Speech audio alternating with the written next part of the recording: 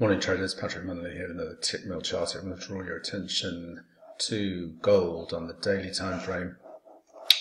I was watching for a uh, pullback from that uh, retest of the 1750 area to test 1653, which is the equality objective, versus the 1960 high.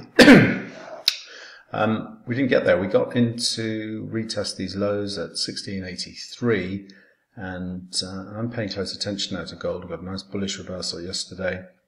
We've got uh, plenty of momentum divergence here, suggesting the potential for a uh, interim low in place. So I'm watching for a move back through 1720 to set long positions initially targeting range resistance 1755, but ideally three-wave corrected pattern into the 1800 level. As always, traders, plan the trade, trade the plan, most importantly, manage your risk. Until next time, thanks very much.